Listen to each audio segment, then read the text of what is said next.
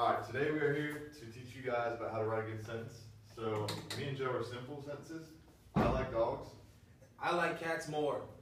But you can make it a compound sentence by adding a conjunction, connecting the two main clauses. So, I like dog, but I like cats more. They did it. Stop. Um, um, a complex sentence. Since I like cars, I bought a Ferrari.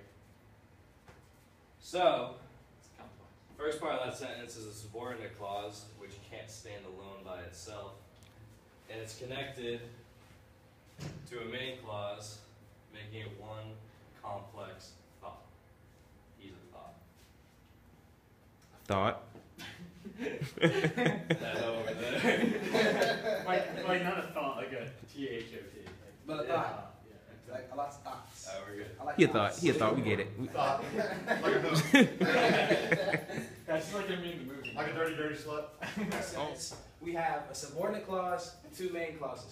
Before I go to school, I brush my teeth and comb my hair. These two clauses can stand on their own, and this one cannot. Before I go to school is not a sentence. So when we combine the three, you have the compound complex sentence. Huh? Drop the mic. Hey, Mom. So, chapter thirty talks all about designing what you write. And the first thing about designing what you write is thinking rhetorically about what you design. So, um, thinking about fonts, headings, the color scheme, um, that all plays a role in how you write a piece of work in their audience. Also, creating visuals helps with designing what you write.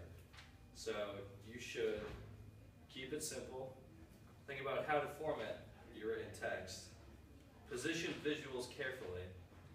Use white space to separate the various parts of your text